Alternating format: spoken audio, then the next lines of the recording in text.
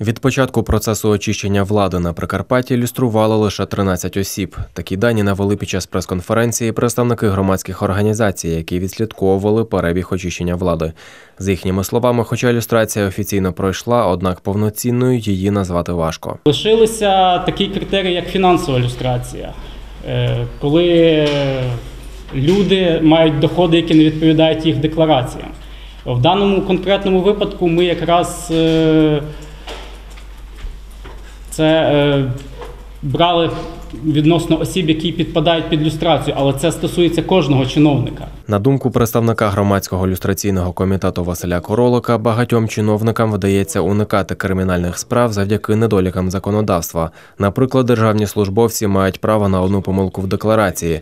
Також вони все ще мають можливість переписати майно на своїх родичів. До революції багато хто навіть суддів, я поки що прізвище не буду називати, їздили на автомобілях більше 100 тисяч доларів.